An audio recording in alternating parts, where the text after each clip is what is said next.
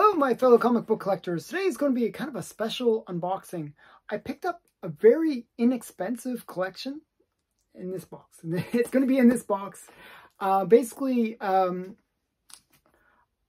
I've been collecting a very interesting uh, series of books. Um, it's called the Christian Spire uh, collection. and basically, Christian Spire was this publishing company that ran from 1972 to 1982. And um, they produced like religious like comics. Uh, a lot of them were kind of very um, pro-capitalist, pro-religious um, messaging. And um, a good example of that uh, is one one of my favorite comics actually uh, is this one.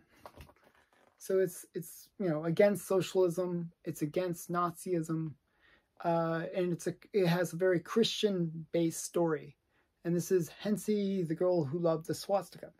And this is from 1972. So this is one of their first uh, published works. Uh, you know, from that first year. And they also produced stuff where they they actually, you know, they, they did a lot against, they didn't really like the Nazis too much. Uh, this is the hiding place, and it talked about uh, you know the Jews and um, you know how Christians help try to save some of the Jews. Um, so yeah, so these are some of the some of the things that they produced. Uh, kind of very uh, Christian propaganda, I guess, would be uh, the way to refer to their company.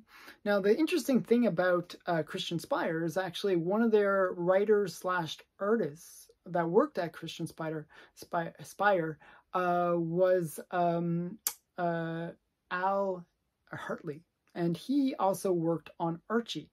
So he was able to get like access to all the Archie characters, and they were able to to use those characters, those Archie characters, in these religious comics. So there's a lot of cool comics as a result where they have these Archie characters with these strong Christian stories. So I'm going to show you a collection I picked up. It's nine books from the Christian Spire one, and let's see what's inside. Okay, so I'm going to open it up. Uh, so it's well packaged, I can say that. Okay, I always a little bit nervous, uh, you know, cutting these things because you don't want to cut into the comics. One sec here. That kind of get past the the wrap. And got to be really careful so I don't cut the comics. And at least they use the painter tape, which is, you know, the painter's tape is a little bit better. Okay. So I got past all of the packaging. that's that's the important part. And I'm going to show you this collection. It was, just, as I said, it was I was pretty happy when I won. Uh, it was $10, so basically a dollar a comic. Uh, very inexpensive win. Uh, I didn't, nobody bid on it, so that was always good. Uh, and I got them fairly, fairly affordably. Um, so I'm not 100% familiar with all the titles for Christian Spire. Um, but this will give you a little, it's more of like a taste in of what some of their titles were. So obviously, as I said, uh, their books were very religious based, okay? Uh, because it is Christian Spire, so you'd expect that. Uh, so here's the first one, God Is. and you can see, as I said, it's Art, uh, Al Hartley. And, um, you know, it's kind of a, kind of a cool little title. Uh, the way that they bagged and boarded these is they put two comics together. So that's the first one. And on the back, we got God Smuggler. and it's like uh, a guy who smuggles um, Bibles into uh, the Soviet Union. Because the Soviet Union, most people don't realize this about uh, socialist states or communist states, is um, the, they're very non-religious. They actually fight against religion, and religion is often outlawed in uh, communist states because really the religion of the society is the communism. so uh, this is one of those cases where uh, you have uh, this God smuggler where he's bringing Bibles into uh, the Soviet Union. So that's kind of kind of cool. Okay, and and like some of these titles are just so wacky and, and kind of cool. Um, here's an example of that. Barney, Barney Bear Toyland. I, I, have no idea what this is about. Just kind of quirky kind of comics. I, I think these are really interesting uh, comics that they've created. Uh, I have no idea what this is about.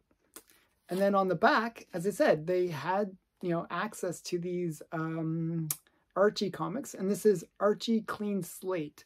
I believe this is like sort of an anti-drug uh, comic, and again, it's by uh, Al Hartley. so I just think this is really nice, uh, really funny. This is from 1975, and actually, it's interesting because they put the original how much they paid. I got this for all for ten bucks. Uh, it was nine ninety nine. Um, and this is from 1975. He paid five bucks for it, so I, I, feel bad for the guy. He he I got a really great deal from him. Um, and again, this is a really interesting title. This is uh, David Whitaker, uh, uh, Williker, Will, Will, ah, sorry, Wilkerson's uh, switch, uh, the the the cross and the switchblade. I don't know, maybe something about uh, gangs and uh, Christianity. So just really interesting, kind of fun titles. Uh, I, you know, actually that was one of the titles I really wanted. That and The God Smuggler are two that I thought were really cool. And on the back, it's another comic he paid 10 bucks for this. Oh my goodness. I, I feel really bad now. Um, this is Crossfire. You know, it's just like some, I have no idea, some crime or something. I don't know what that's about. that's really odd. And then we got another one, um, uh, Kitty's Christian Comics, and it's Noah's Ark. You know, the traditional story of Noah's Ark. Uh, and then we got on the back, Born Again, and this is the story of uh, Chuck Colson. Uh, yeah, it's talking about how I guess he worked for the Nixon, Nixon White uh, White House, and you know this is like obviously from the early seventies. Um, you know now now a major motion picture. it's kind of interesting. Um, so yeah, down with Nixon. You know this is all really interesting stuff. So, um, and then we got the last one is attack. And this is probably some uh, thing about maybe um, like the Japanese flag. So I'm going to guess something about the Second World War. Um, so yeah, kind of interesting. These are Christian Spire. So, um, you know, just kind of a cool little collection.